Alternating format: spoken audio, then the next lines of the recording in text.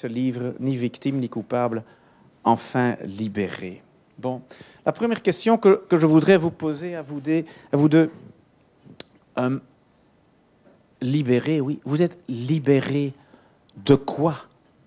J'ai l'impression que ce sont quand même des choses très différentes.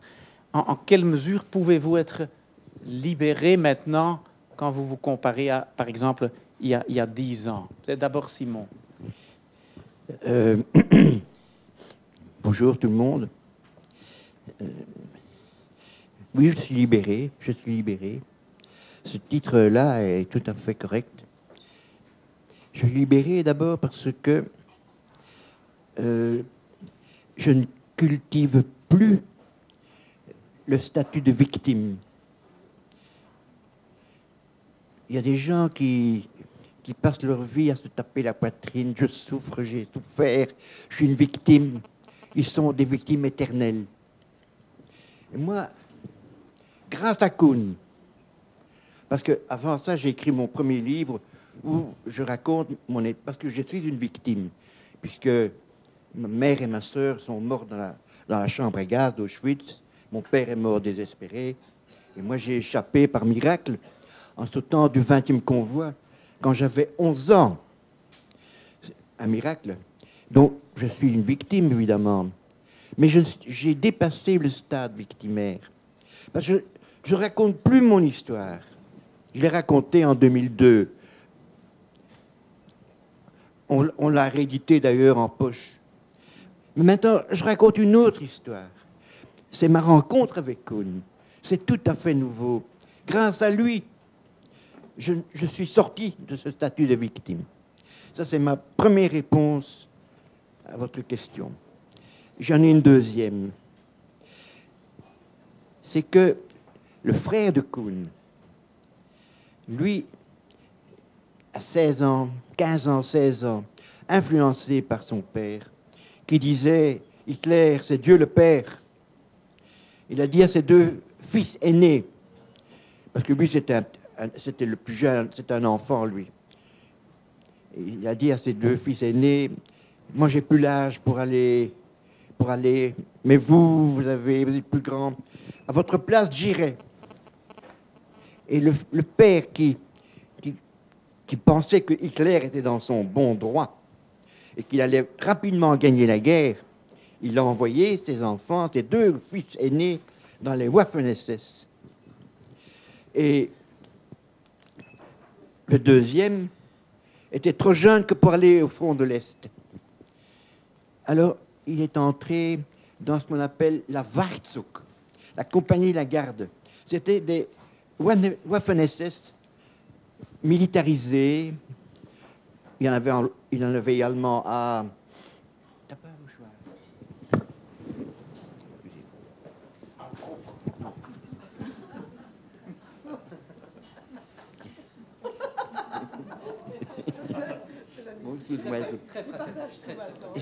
Écoutez, je vous, je vous explique.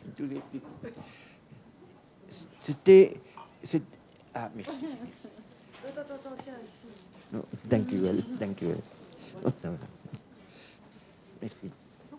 Donc, le frère de Kuhn, lui, est, devenu un supplétif de la Gestapo. Euh, c'était l'homme à tout faire, c'était des. Dans cette compagnie de la garde, c'était les exécuteurs des basses œuvres des nazis. Il montait la garde devant la Gestapo avenue Louise ils gardaient le, la donc et la caserne d'Austin, ils gardaient des immeubles euh, publics, ils escortaient les gens, parfois les, convois même. Et donc, euh, son frère était là. Et voilà ce qu'il était son frère. Et alors, début janvier, Kuhn m'a dit Mon frère veut te voir. Mon frère connaît ton histoire, il voudrait te voir. J'ai accepté de le voir. Pourquoi j'ai accepté de le voir? Pour deux raisons. D'abord, Kuhn, parce que je savais que ça te ferait plaisir. Je savais, et moi je veux te faire plaisir. Je savais que je voulais, je savais que tu ne m'as pas demandé d'y aller. Tu m'as dit que ton frère veut te voir. Et deuxième raison, c'est parce que s'il demande à me voir, c'est qu'il regrette ce qu'il a fait. Et c'est qu'il demande pardon. Et j'ai accepté le 14 janvier 2013. On est arrivé là, Kuhn, Dirk, son ami, et moi, chez le frère. Et quand on s'est vu, on est tombé dans les bras l'un de l'autre, sans mot dire. Les, les mots étaient inutiles. Et tout le monde pleurait. Il pleurait, moi aussi. Son frère pleurait. Parce que si je vais le voir, et si je le prends dans mes bras, c'est que je lui pardonne. Et je lui pardonne pourquoi? D'abord parce que c'était très jeune pendant la guerre. Il y a combien de jeunes qui ont été comme ça influencés par la propagande et par l'époque et qui se sont fourvoyés, très jeunes. Et parce que, pour moi, il est plus victime que coupable. Et aussi, chers amis, parce que pour moi, donner mon pardon, ça me grandit ça me grandit. ça, le pardon apporte quelque chose à la personne pardonnée, mais beaucoup à celui qui pardonne. Peut-être plus. Et ce pardon que j'ai donné m'a libéré.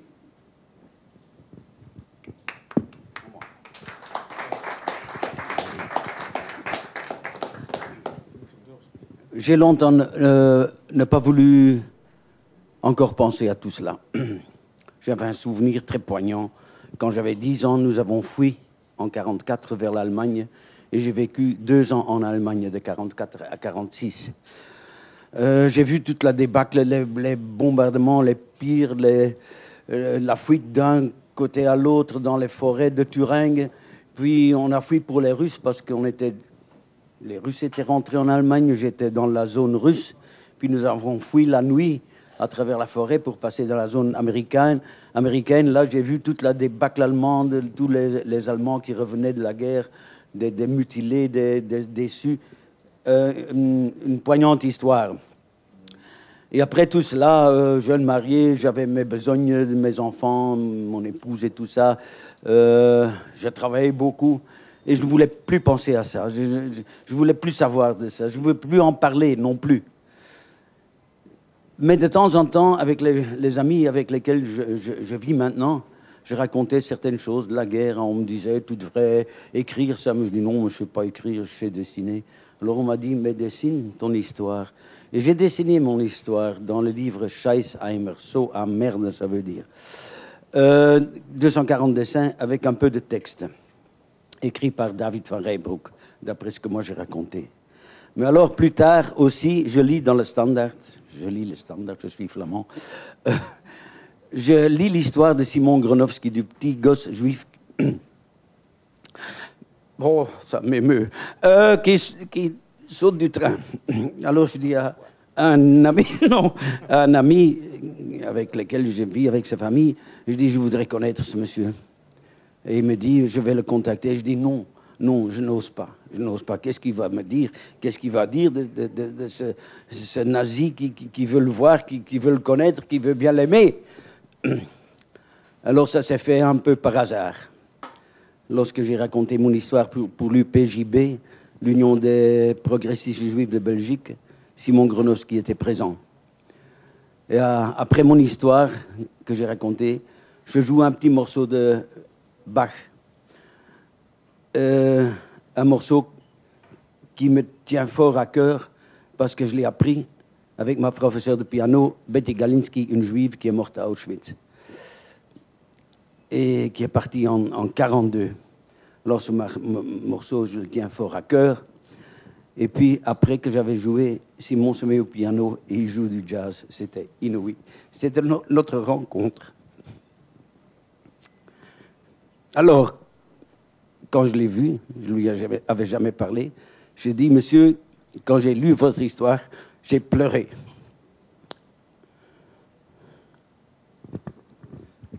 Merci.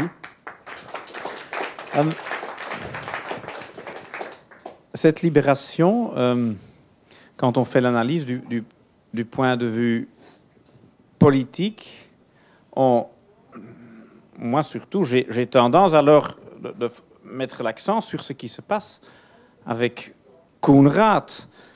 Le pardon que toi tu donnes, c'est un mouvement d'humanité, d'une profondeur qui, qui dépasse le monde du politique, etc. C'est, on est à l'essentiel de ce qui est l'homme, de ce que pourrait être l'homme. Mais ce qu'il y a chez Koenraad, c'est que pour pouvoir faire cette combinaison entre Koenraad et euh, Simon,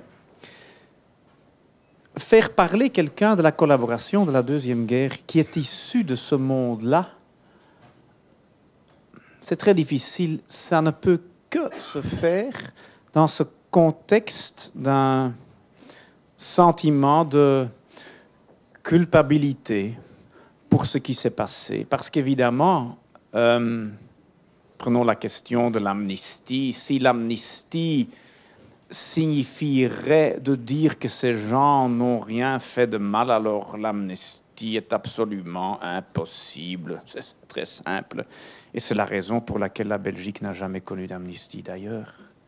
Euh, mais ce sentiment de culpabilité, pas pour toi-même, parce que bon, c'est pas ta faute, mais tu es issu d'un monde de collaborateurs. Et là, je voudrais quand même, dans ce monde que je suppose assez francophone, et dans ce pays qui est la Belgique, où tout est quand même assez communautarisé, je voudrais quand même mettre l'accent sur le fait que du côté flamand, beaucoup de choses, je pense, ont changé vis-à-vis de l'analyse qu'on se fait de la Deuxième Guerre mondiale. Il y a 20 ans, je le vois aussi avec mes étudiants, j'ai des étudiants de droit, mon cher ami, j'ai des étudiants d'histoire aussi. Je, je fais déjà vieux, je donne déjà cours depuis 25 ans. Hein? Et depuis, dans ces 25 ans, je vois beaucoup a changé parmi ces jeunes. Aujourd'hui, quand on fait l'analyse à l'université, dans mon cours d'histoire politique de la Belgique, quand je fais l'analyse de cette collaboration qui se trompait fondamentalement, fondamentalement dans ce qu'elle faisait, il n'y a aucune contestation. Ces jeunes, ils acceptent, ils ne contestent plus. Nous sommes loin du temps des soi-disant idéalistes, cette image qu'on se faisait. Vous ne vous rendez pas compte peut-être de ce que c'était des, idéalistes. Tu es ici dans un monde idéaliste. Ah oui, absolument. Mais quels idéaux? Quels idéaux? Parce que idéaliste, ce mot ne suffit pas du tout. On pourrait même dire que Hitler était un idéaliste, ne me prenez pas au mal, c'était un idéaliste, mais ces, id- ces idéaux étaient des plus pervers. Et donc, dans ce sens-là, ce monde des idéalistes, je pense qu'il n'existe plus, peut-être encore dans des gens de ta génération. Comment est-ce que euh, ça a été perçu dans ta génération, dans ton milieu dont tu es issu? Parce que tu es quand même issu d'un milieu nationaliste flamand, collabo. Qu'est-ce qu'ils ont dit? Quand j'ai fait mon, mon Scheissheimer, ce, ce livre, il s'appelle Scheissheimer parce que dans toute cette fuite à travers l'Allemagne pendant deux ans, j'avais trouvé un seau de toilette dans la forêt de Thuringe. Et comme nous étions toujours par-ci, par-là, on fouillait un seau euh, de toilette, ça servait pour maman et petite sœur surtout. Euh, alors j'ai appelé mon... Et ce seau de toilette, je l'ai gardé longtemps. Et euh, c'est pour ça, c'est un peu le leitmotiv de, de mon livre. Ce saut de toilette revient toujours. Attendez, qu'est-ce que j'allais dire? Oui. Oui. En fait, je, je pourrais formuler la, la question d'une autre façon.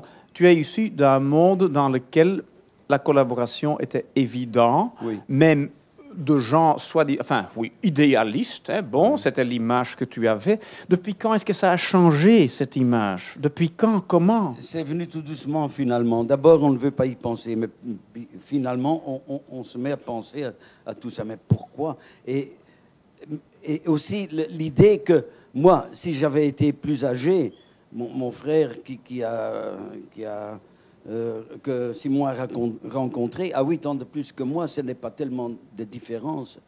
Euh, si j'avais été un peu plus âgé, j'aurais peut-être aussi été soldat SS. Qu'est-ce que j'en sais? Je- J'espère que non, mais je ne sais pas. Je ne peux pas, je peux même pas le prétendre. Et euh, dans ma famille, quand j'ai fait mon chat, c'est ça que je voulais dire. Mon, frère aîné qui vivait encore à ce moment-là et mon autre frère, ils étaient un peu. Tu dis ça de papa et tu dis ça de papa. Je ne disais rien de mal, mais enfin, je disais quand même qu'il était nazi et qu'il disait à ses fils, moi, à votre place, j'irai. Ils ont pris ça un peu de mauvaise part. Mais avec le temps et en parlant avec mes frères, ils ont vraiment euh, sérieusement changé. hein. Parce que mon père, par exemple, euh, c'est terrible à dire, mais mon père n'a jamais voulu, voulu croire qu'on avait tué tant de juifs. Il n'a jamais voulu accepter ça, jamais. Et c'était c'est aussi très drôle à dire, mais un homme très honnête, très correct, très fier, mais il ne voulait pas le croire. Il n'acceptait pas ça. Et les juifs, c'était des gens mauvais, de toute façon. Ça, pourquoi, je n'en sais rien. S'il Oui. avait connu Simon, il aurait été son ami, pour vous dire quelle, quelle imbécilité, Oui. Finalement. je, je- je reconnais, je reconnais l'histoire là parce que quand ces gens-là qui étaient dans la collaboration voulaient, oui, voulaient passer dans la vie comme des gens normaux, avec une moralité normale, ils devaient nier, nier. Parce que, alors, on, de- on- on était négationniste avec une évidence, c'est pas vrai ce qu'ils ont fait. Et on n'a que le souvenir des camarades, de l'amitié. Ça, on voit souvent quand on fait l'interview d'anciens collaborateurs, quand on essaye de. Maintenant, on ne peut plus le faire parce qu'ils sont trop âgés ou ils, sont déjà décédés, mais, il y a 10 ans, il y a 20 ans, quand on essayait de parler avec eux, euh, ils, avaient encore le souvenir de la camaraderie, des, camps de feu, des, choses, des, des- genre, je dirais des meetings des, scouts, mais c'était les Hitlerjugend, etc. Les jeunes ensemble, mais les aspects d'idéologie, c'était plus là, mais quand on parlait des juifs, ils se moquaient un peu, ils ne croyaient pas, et c'est comme ça qu'ils n'ont jamais compris. Mais ils lisaient aussi. Dans, votre famille, vous lisiez quoi? C'était c'était les gens-là, ils, ne lisaient pas les journaux normaux, ils lisaient par exemple Parliterke, c'était un journal qui était bien lu en Flandre hein, à cette époque-là. C'était Parliterke, un, un, un monde dans lequel on circule et on se cite et on a les mêmes petits bouquins qu'on lit. C'était ce monde-là. Mon père, avait, mon père avait deux livres dans lesquels il lisait beaucoup. C'était la Bible et Mein Kampf. Ah oui, oui, oui, ah oui, ah oui, oui. Euh, c'est extraordinaire. Et dans ce contexte, euh, Simon, ta, ta vision sur la collaboration, quand, oui, toi, que, que, que tu ferais quelle, quelle analyse de...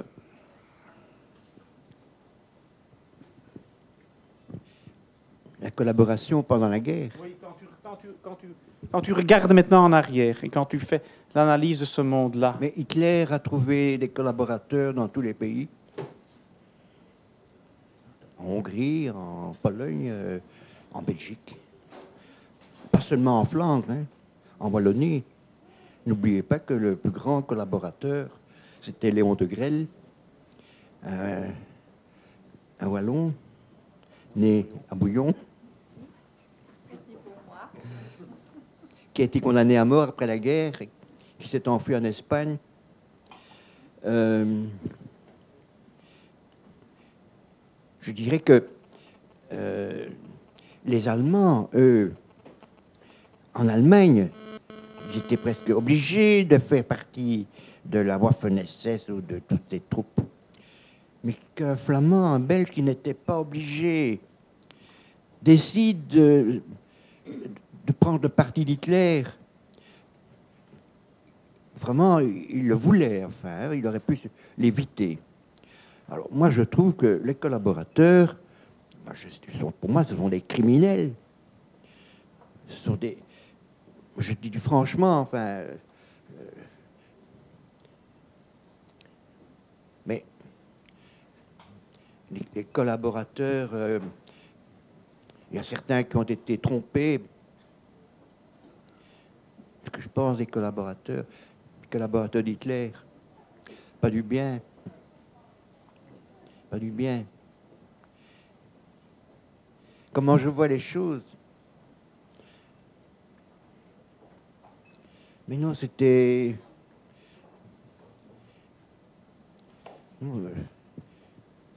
En plus de ça, c'était des fameux antisémites. Le père de Kuhn était ce qu'on appelle un Jodenhater, c'est-à-dire un, un haïsseur de juifs. Il disait, tu l'as dit tout à l'heure, pour lui, les juifs étaient mauvais. Mais est-ce qu'il savait Est-ce qu'il savait Est-ce que tous ses collaborateurs savaient ce qui se passait là-bas, à Auschwitz?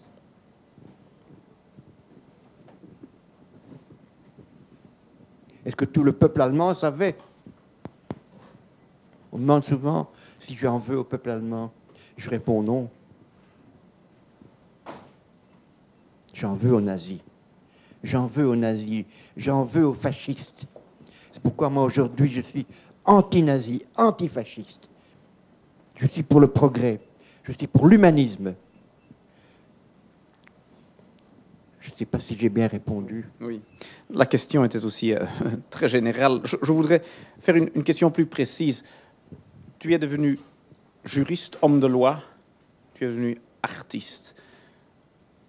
Euh, le droit, qu'est-ce que ça a signifié pour toi? Quelle a été la signification du droit pour toi après 45 Pourquoi le droit? Et comment? D'abord parce que j'étais dans un milieu de, culture. Et moi j'avais une adoration pour ma sœur qui était une grande pianiste classique euh, et qui qui m'avait déjà initié quand j'avais 9-10 ans au latin, un peu de grec. J'avais une adoration pour elle. Mon père était un poète. Il écrivait en six langues. Six langues, mon père. Donc, dans ce milieu de culture, j'ai été, obligé, après la guerre, me retrouvant tout seul, j'ai voulu absolument faire des études. Et j'ai choisi le droit. D'abord parce que, en étant avocat, ça me permet d'aider les gens. Moi, je, suis serviable de nature. Et je gagne ma vie en plus. Ensuite, euh, j'ai choisi le barreau parce que mon père avait une grande admiration pour un avocat qui était Charles Plisnier, qui était pris Goncourt pour un livre qui s'appelait Mariage avant la guerre. Et il vénérait la justice, mon père. Et puis je suis devenu avocat, je l'ai expliqué dans le documentaire, parce que les nazis avaient voulu faire de moi un petit paria. Ils m'ont humilié, ils m'ont enfermé, ils m'ont déporté, ils ont tué ma famille. Alors moi, j'ai voulu être avocat par orgueil. Je réponds à ta question. Pour moi, être avocat, c'était ma, vraie victoire enfin, la victoire sur les nazis. Voilà. Oui. Et donc, merci. Et pour euh, l'art. Euh, D'ailleurs, qu'as-tu fait Est-ce que tu, es toujours, tu as toujours été artiste? Oui. Et quelle a été la signification de l'art pour toi dans ta vie vis-à-vis de, la, vis -vis de la guerre? Ben, Je suis né dans une famille d'artistes, de, de, musiciens. Il y avait même des musiciens célèbres. Edgar Tinel, mon grand-oncle, était euh, directeur du conservatoire, compositeur, prix de Rome et tout ça. Et puis mes oncles, mes, grands-oncles, tous des musiciens. Et mon père était un des seuls qui était devenu sculpteur, mais il faisait des sculptures pour les églises et des, trucs très symboliques, flamingants, euh, héroïques. Euh, je n'aimais pas beaucoup ce qu'il faisait, mais enfin, il était sculpteur. Mais, et ma mère chantait, jouait du piano. euh, tous les amis de, la maison étaient des gens qui, qui étaient du côté culture, quoi. Alors, euh, à trois ans, j'ai commencé à dessiner. Mes parents m'ont toujours dit ça. Tu, tu dessinais à, à trois ans, tu te mettais à dessiner, tu dessinais tout le temps. Alors, ça a continué toute ma vie, quoi. Je n'ai, je n'ai pas changé, j'ai pas pas bifurqué. J'ai commencé par le piano. J'étais un très bon pianiste, mais euh, ça, j'ai abandonné. C'était trop de l'esclavage. Étudier six heures par jour. oui, mais t- toujours du jazz, c'est pas comme la musique classique. Euh, c'est très, très exigeant, la musique classique. Alors, j'ai abandonné et j'ai. euh, et j'ai fait la Cambre ici à Bruxelles euh, pour la sculpture. Et voilà, je suis devenu sculpteur, dessinateur déjà toute ma vie.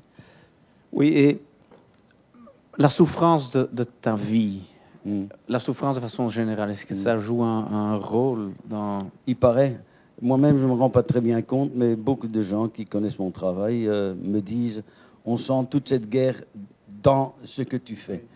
Euh, je ne le savais pas, je ne m'en rendais pas compte, mais maintenant je le vois euh, aussi. C'est vrai. Oui. C'est marqué par, par- par Oui. toute cette période. Oui, il y a aussi euh, la, la couleur des aquarelles qui souvent est, c'est, très, très noir, c'est très brun, c'est très sombre.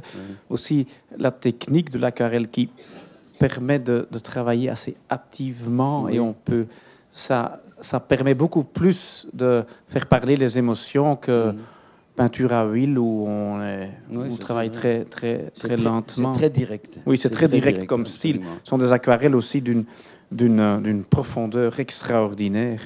Euh, euh, j'ai, encore une autre question concernant l'art et, et Auschwitz. De façon générale, c'est une, c'est une question difficile. On peut se demander, après Auschwitz, quoi encore? Est-ce, qu'on, est-ce qu'il est possible de esthétiser le mal extrême? Est-ce possible? Esthétiser, c'est un mot difficile, je comprends ce mot. Et c'est une forme d'esthétique. Même une, une grande peine, une grande douleur, euh, une grande laideur peut avoir une esthétique, je pense, oui. Ça, je crois, oui. Parce qu'on voit ça surtout dans l'art actuel. Avant, il fa- fallait faire des, belles petites filles et tout ça. Maintenant, on peut, on peut mettre du caractère dans quelque chose. On peut montrer de la peine, de la douleur. On peut montrer tout ça maintenant. Et ça, je trouve quand même important. Euh, je voudrais poser une, autre- question à, Simon. Euh, ce, phénomène de, de pardon dont tu, euh, dont tu donnes un, exemple extraordinaire parce que ta mère, ta sœur, et puis ton père aussi qui est décédé en, juin 45 suite à une, maladie de poumon, mais aussi désespéré. Tu as perdu tout le monde vous avez perdu une partie de votre fortune, vous avez, et puis d'autres familles aussi, etc.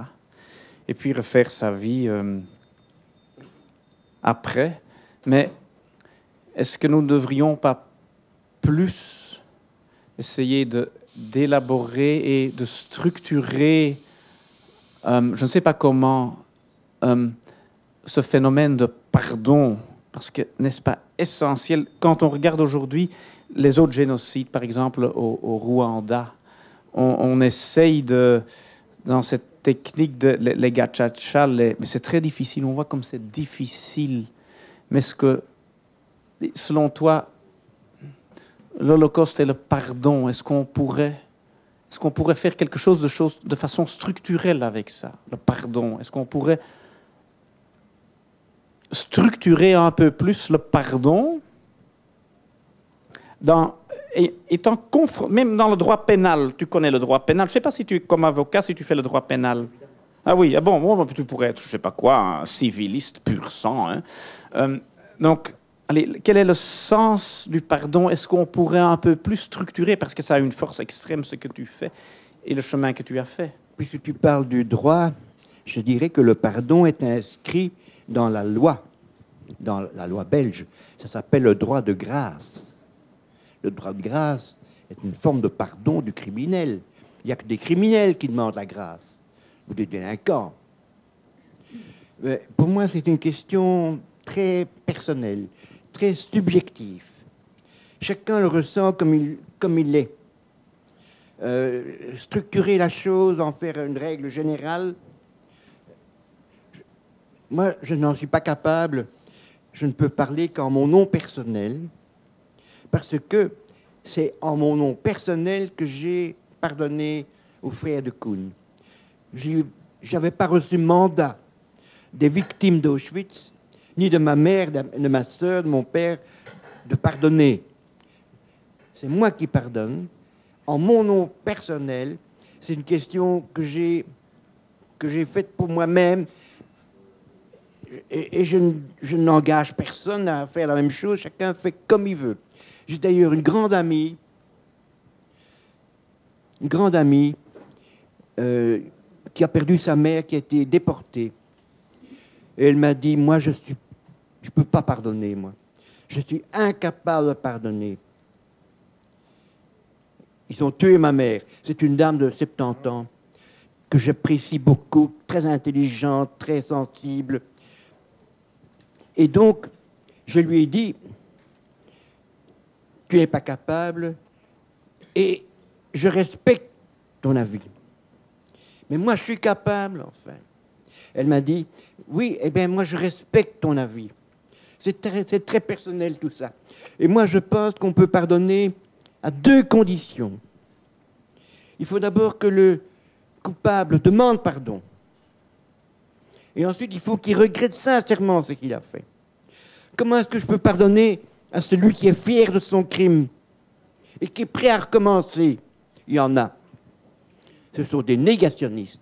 Les négationnistes qui disent que ça n'a pas eu lieu. Et je voudrais qu'ils aient raison, parce qu'alors j'aurais gardé ma famille.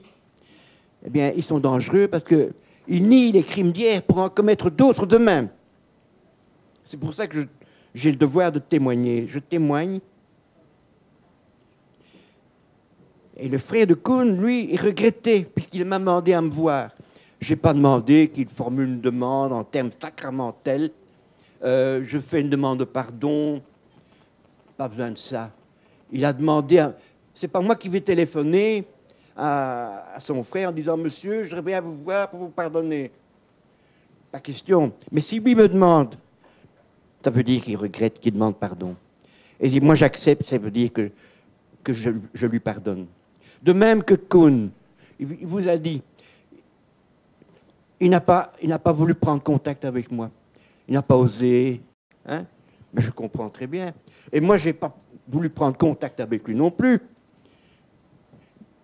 On s'est rencontrés vraiment par un hasard fabuleux.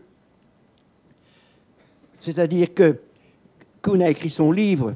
Il s'est, libéré par son livre. Parce que Kuhn a souffert. Et j'ai jamais dit, moi, comme certains l'ont dit, que nos souffrances sont similaires. J'ai toujours dit qu'elles sont incomparables. Mais je reconnais qu'il a souffert.